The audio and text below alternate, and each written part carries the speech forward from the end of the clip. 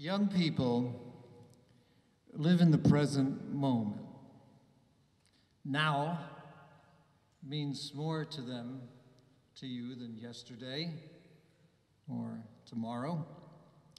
But as you get older, memories, memories become more important, more precious. Memories help us to return to those moments in our lives that have had some special impact on us, that have influenced us, affected us in some way. Not all our memories are good, some are pretty negative.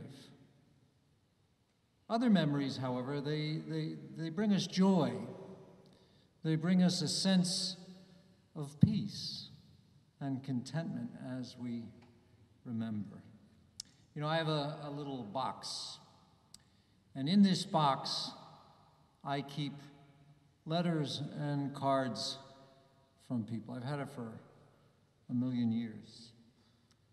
Now, every once in a while, in, in quiet moments, I take that box out and I, I read some of those letters and those cards and those things that I've kept, even birthday card from my mother, maybe a note that my father wrote me when I was a seminarian, letters from various friends, living and dead, people who are no more. Uh, and they wrote to me or contacted me for a whole variety of occasions or reasons. But these little pieces of correspondence, they recreate, the minute I pick them up and start to read, they recreate all kinds of moments and experiences in life happy times, sad times, frustrating times. They address successes in my life, they address the failures and everything in between. As I read them, and I get uh, oftentimes a little emotional as I look at memories. You know, my sisters and brothers, uh, the New Testament, the Christian scriptures, it's like that kind of a little box. And it contains letters and messages and stories written at a time that's far removed from the present, from now, from where you are from and by people or communities in far distant places. In quiet moments when you take out the Bible to read, and I hope you do, but every week at Mass, as we celebrate, we take the scriptures we heard read today, we open them up. We open up to one of the letters of St. Paul. We open up to the Gospels or the Acts of the apostles. And when we hear or read these readings, we also, we're transported back to another time. Our memories, our memories as a church, our memories as Christianity are brought to the surface. We take our Christian heritage, we hear it read, or we read it in the Bible, and we take it forward. We move it forward to the present. We have to realize every time that we hear the scriptures read to us at Mass, that they're not only some historical piece of memory, but it's God speaking to us today. These readings are addressed to us. You know, we continue to celebrate the Easter season, as we remember memory, as we remember and call to mind the fact that Jesus died and rose for us, and what an impact that had on the world, what an impact that had on our church. You know, today in the gospel, gospel from St. John, we have the apostles, seven of them, who after Jesus died, didn't know what to do. They had their agenda all mapped out, and then Jesus goes and dies. They didn't know what to do. And so naturally, they went back to their previous life. They're hanging out. Peter says in the reading, I'm going fishing. You don't have anything else to do.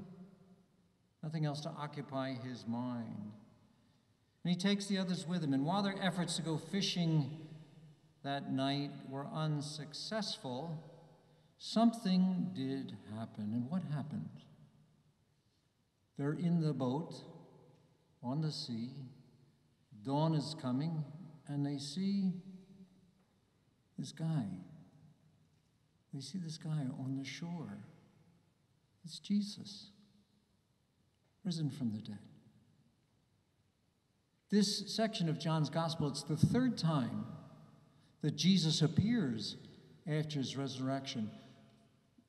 But his resurrection transformed him so profoundly, so deeply, that he didn't recognize him. They didn't recognize him. Jesus said to them, Dudes, what are you doing out there? We're fishing. We can catch nothing. Throw the net over to this side. That's what they did. And they caught tons of fish. And all of a sudden, John, beloved disciple, it's the Lord. It's the Lord. So he says, Come on in, let's have breakfast. Let's eat together. So he breaks bread and he gives them fish. I don't know how you feel, but fish isn't a big deal for me for breakfast. But that's the breakfast that he offers them. And in that moment, their memories are jarred. And they see Jesus, they recognize him. Jesus appears to the apostles so that that memory of him does not fade away, so that they just don't go back to what they did before.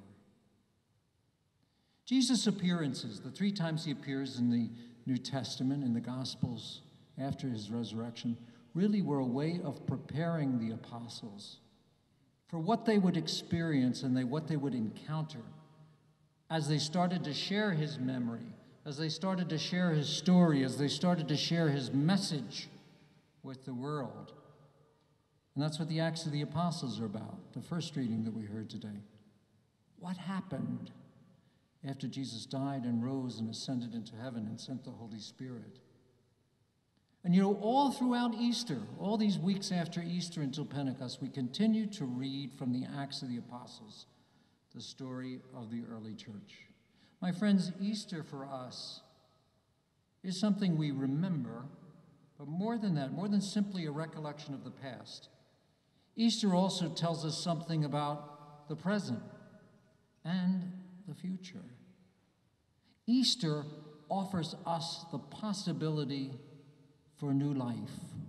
Easter offers us the possibility for change.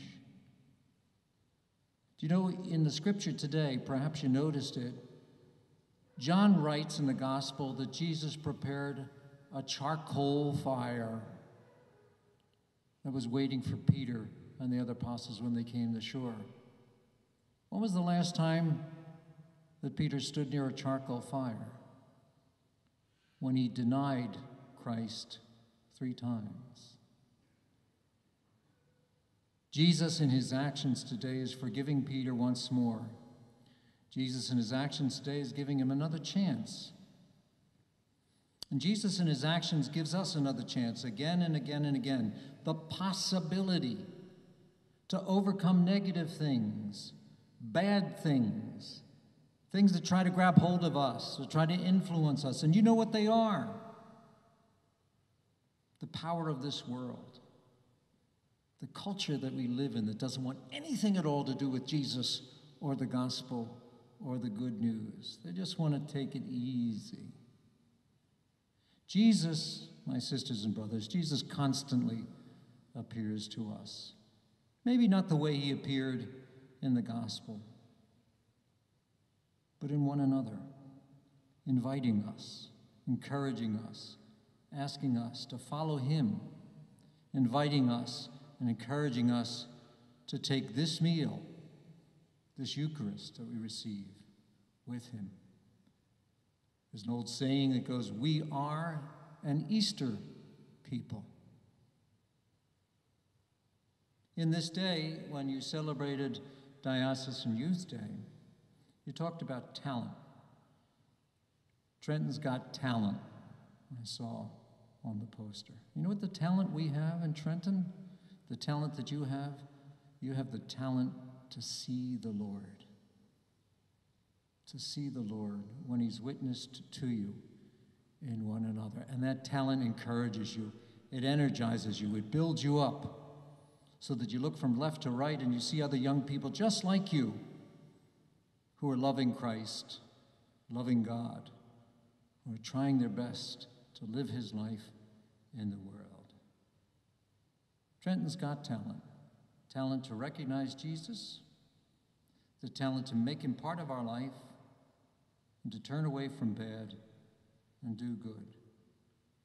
Trenton's got talent to make Easter every day of our lives. Amen.